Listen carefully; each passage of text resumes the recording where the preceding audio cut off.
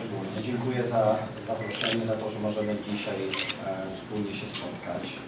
Za kilka dni mamy w Polsce wyjątkowe święto. Ono ma taką krótką tradycję, zaledwie 5 lat. Od 5 lat możemy w sposób urzędowy, ale także taki społeczny honorować żołnierzy wyklętych, niezłomnych. Mówi się o nich w różny sposób. Kim oni byli? To byli ci, którzy w latach 40., 50., a więc już po wojnie, kontynuowali walkę z systemem komunistycznym. Kontynuowali walkę w warunkach, które przecież nie dawały szans na zwycięstwo. Dlaczego my dzisiaj o nich pamiętamy? Dlaczego dzisiaj oni z taką ogromną siłą wracają do nas? Myślę, że przyczyn jest kilka. Ta pierwsza to format tych ludzi. Wielu z nich walczyło jeszcze w połowie lat 50., a więc 10 lat po wojnie. Każdy z nich podjął decyzję, aby trwać w walce aż do swojej śmierci. Nie zgodzili się na formę współpracy, a przecież wielu z nich mogło uratować życie. Ci, których widzieliście dzisiaj na portretach, każdy z nich miał taką propozycję. Mógł z niej skorzystać, ale oni wybrali wierność własnym zasadom, własnym ideałom.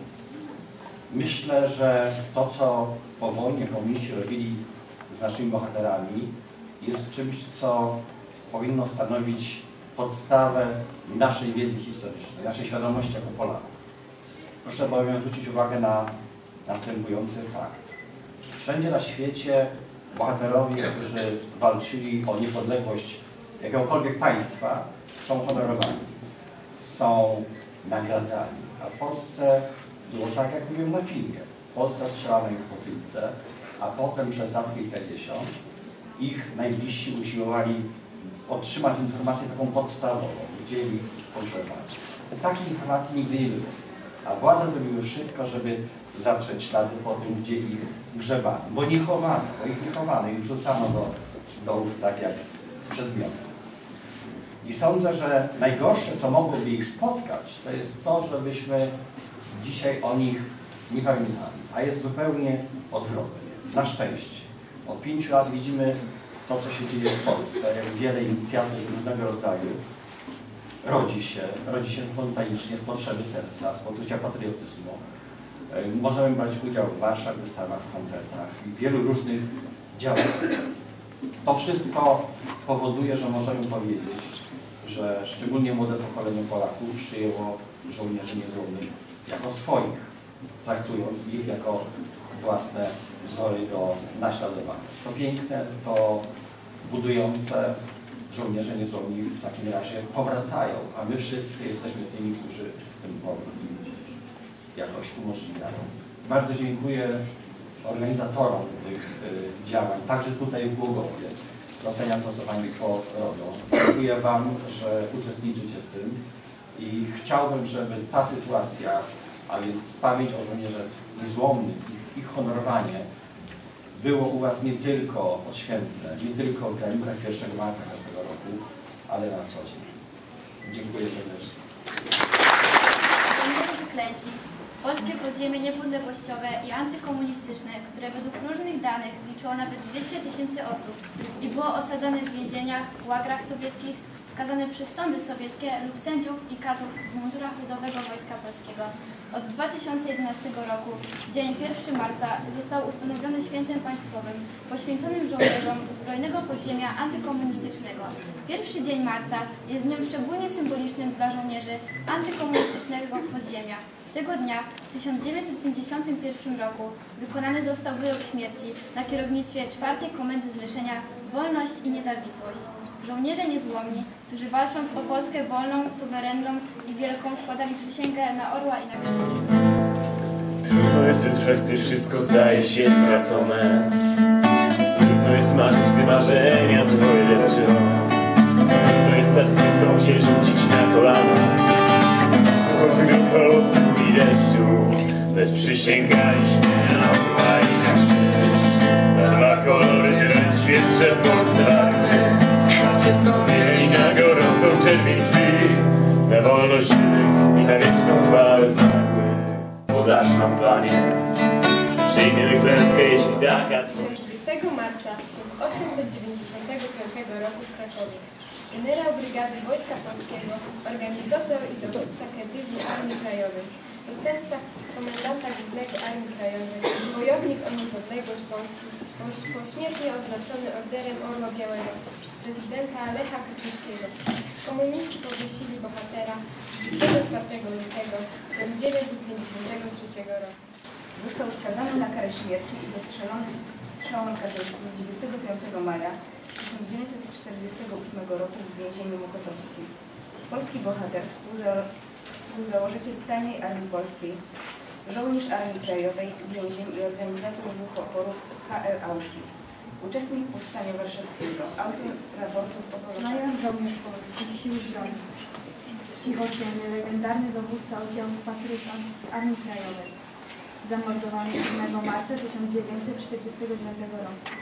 W chwili śmierci, pomimo tego, że miał 30 lat, wyglądał jak starzec z siwymi włosami, z wybitymi zębami, połamanym nosem i żebrami oraz powyrywanymi paznokciami. Tak komunistyczna Polska obchodziła się z. Danuta Siedziczówna, pseudonim Inka, sanitariuszka 5 Brygady Wileńskiej.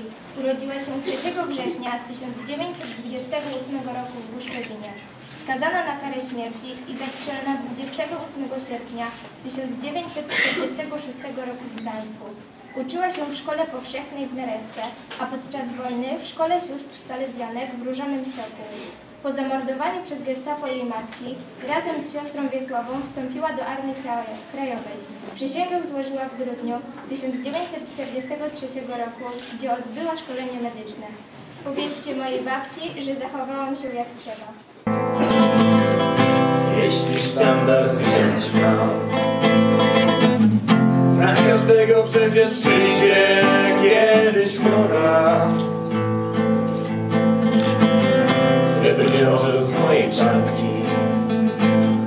Na urwiskach serc ma Znajdzie gniazdo.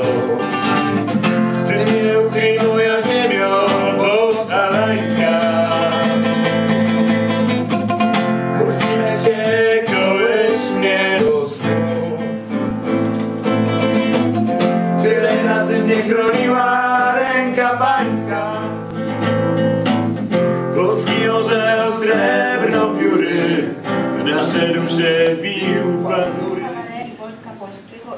Krajowej. Nie zaprzeczał swojemu udziałowi w podziemiu antykomunistycznym, ani nie prosił o łaskę. Został skazany na 18-krotną karę śmierci.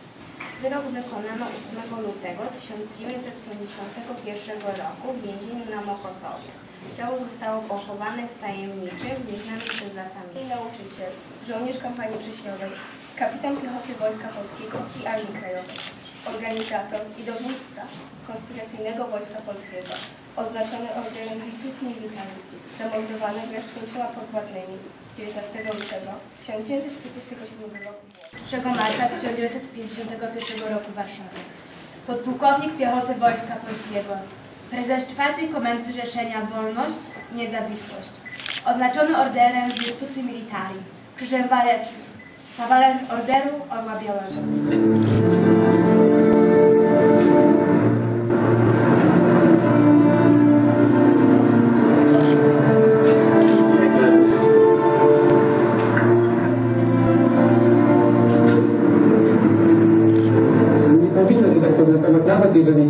Byli uważani za ludu, to również należało się pochówek. No to tak jakby jest w tym wszystkim takie tragiczne, że ci ludzie tak nawet po śmierci, po takiej tragicznej śmierci, prawda, czy po takim zamęczeniu na śmierć, y, jeszcze im y, tak jakby odebrano też taką możliwość takiej, takiej przyzwoitości tam zabrakło, prawda? Odhumanizowanie tych ludzi. Ludzi, prawda, tylko jak jakiś, jakiś przedmiot, jakiś tam, prawda, jakiś towar, coś takiego y, abstrakcyjnego.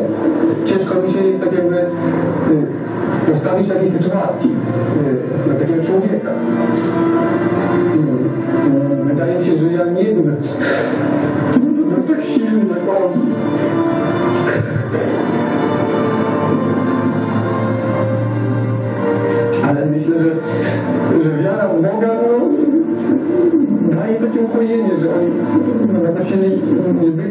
to chociaż tej okazji ostatniej chwili swego życia, może myśleli o Bogu. Y, zawsze starałem się y, przy fotografowaniu, jak miałem jakiś czas, się pomodlić po prostu tych ludzi.